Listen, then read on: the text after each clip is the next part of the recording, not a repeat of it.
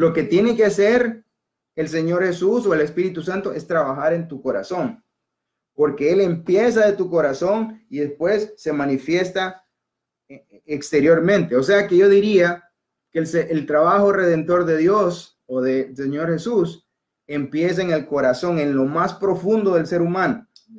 Ahí empieza.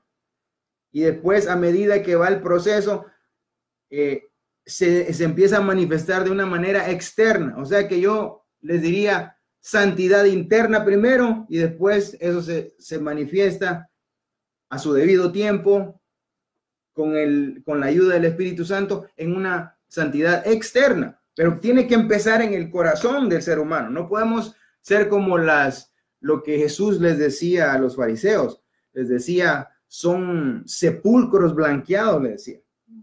¿Ok? O, vamos a agarrar este vasito, como yo se los dice. Limpiaban nada más lo de afuera, lo de afuera del vasito, pero lo de adentro estaba podrido, estaba sucio, estaba una, una suciedad, ¿eh? Pero decían, no, decía Jesucristo, limpien también lo de adentro. Eso quiere decir que nosotros, nos, el, el Señor Jesús, el Espíritu Santo nos limpia de adentro hacia afuera, de adentro hacia afuera. Así, así es la, la mecánica como Él trabaja. ¿Okay? Y nosotros tenemos que cooperar.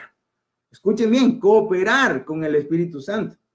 No tenemos que estarle empujando, no, Espíritu Santo, eso no lo quiero hacer. Tenemos que cooperar.